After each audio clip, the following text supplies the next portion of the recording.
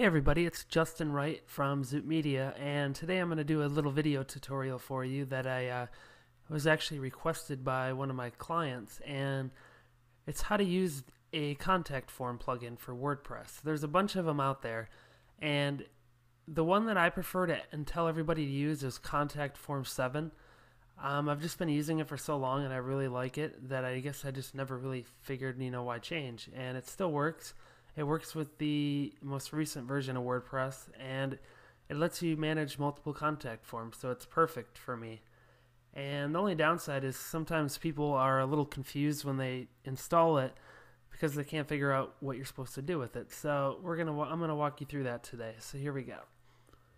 So if you haven't already installed Contact Form 7, just go to Plugins and click on Add New, and we will go ahead and search for the plugin using contact form 7.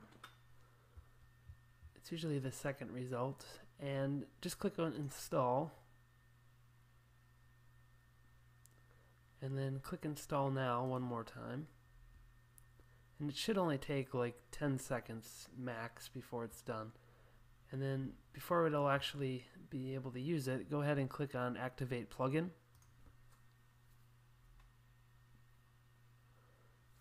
Alrighty, we're ready to roll. So the first thing you'll notice with Contact Form 7 is it actually adds its own section down here on the navigation menu.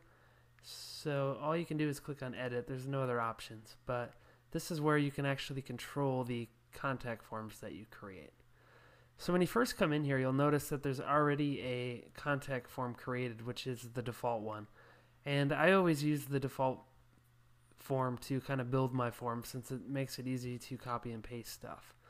So the first thing you'll want to do is hover over where it says contact form 1 and give it a name that's a little more descriptive, especially if you're going to be using more than one form for various pages.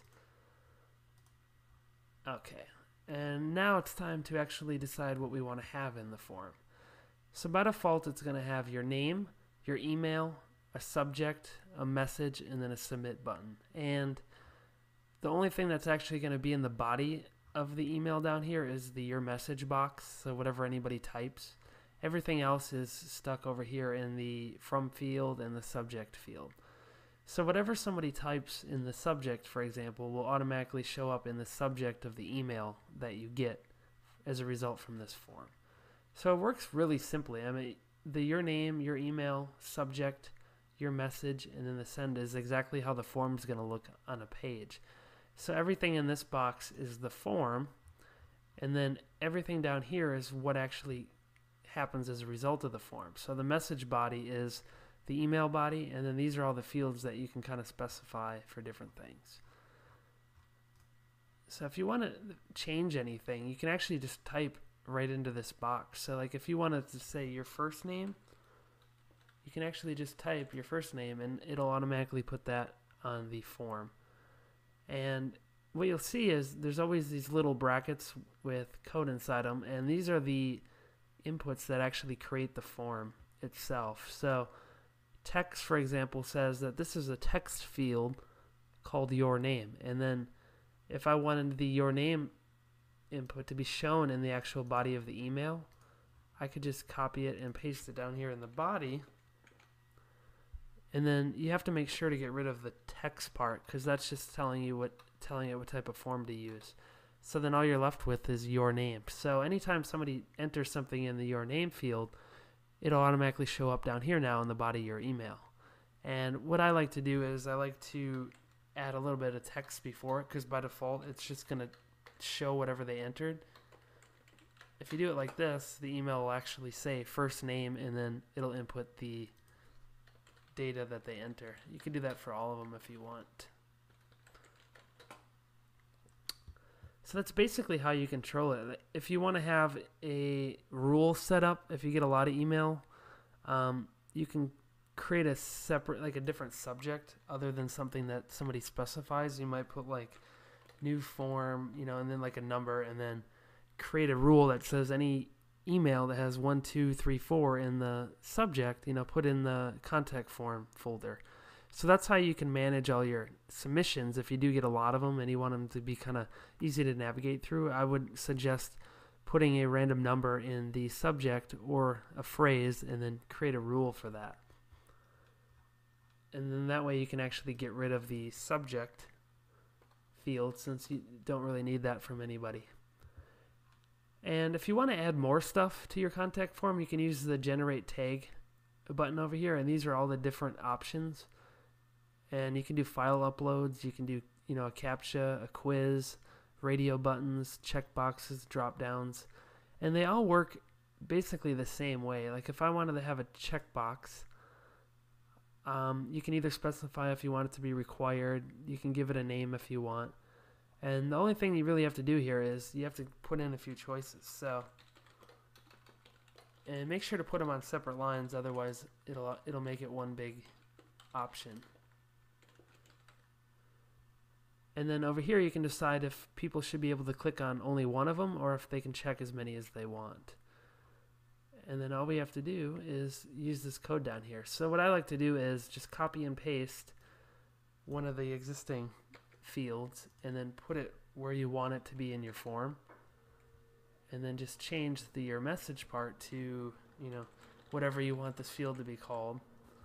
And then come over here, take your code, bring it back over here and paste it where the copied code was. And that'll automatically put the checkboxes now under choose option. And then we also have to put that code down here so that the form knows where to actually put the information. And don't forget to check out the first word, which is checkbox. That's what the form uses to tell what type of form to create. So we now have checkbox, first name, and a message. So it'll tell us what they checked, their first name, and their message. So now we have to make sure to come down here and click on save.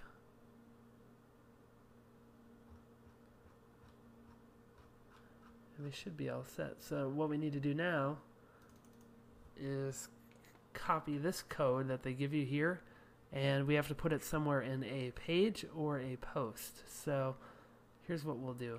I'll go into my pages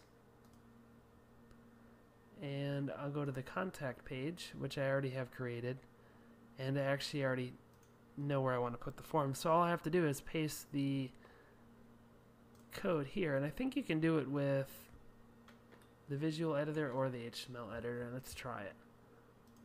And then just hit update. Now here's what the page looked like before. Now if I refresh it, the form should show up. So there's your form. And there's first name, your email. This is where they can check their boxes. And here's the message. So it's really simple to set up. And if you spend a little time just playing around with the features in here, you'll kind of get a good habit of knowing how to use it. You know, like you can come in here and change send to submit you know, whatever you want. Get it now. You know, you can put whatever you want. And if I save it, it'll automatically make the changes on the page without having to actually go back in there. So get it now. So it's really easy. And I recommend you use this um, for any of your WordPress blogs or websites. It's my favorite one.